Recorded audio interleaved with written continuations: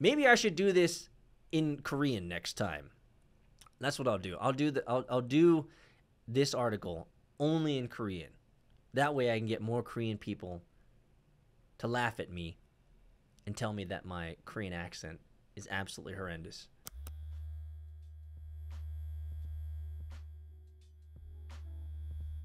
All right, my friends, this next piece of news has no contextual relevancy to your life whatsoever, but mostly the reason I'm covering this is because it allows me to simply say one thing.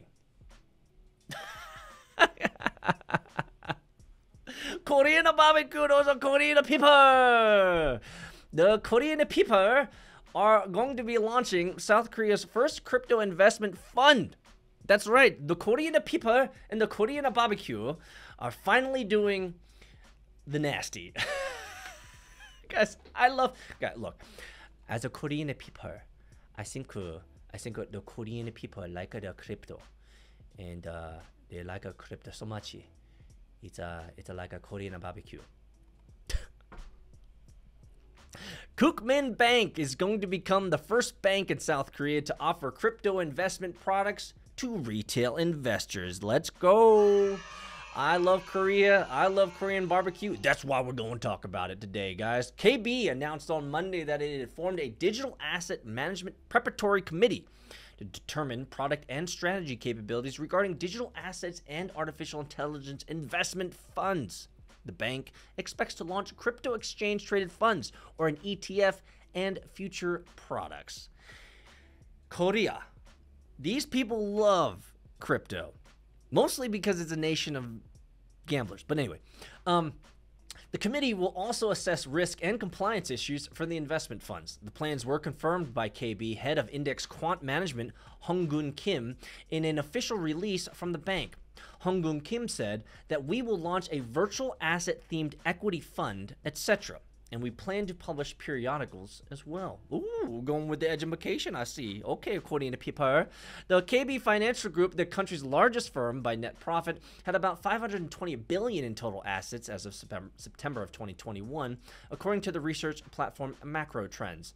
The current plans are to launch a crypto investment fund and fund that utilizes an outsourced chief investment officer, or OCIO, also referred to an outsourced investment management in order to provide guarantees on principal investments.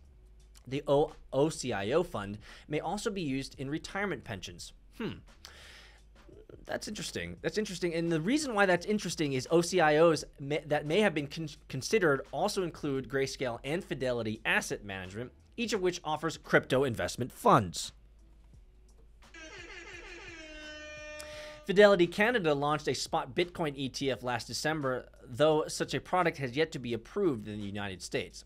In launching a new investment fund for its customers, KB is responding to market to a market that has become increasingly receptive to crypto and non-fungible token investments, of course.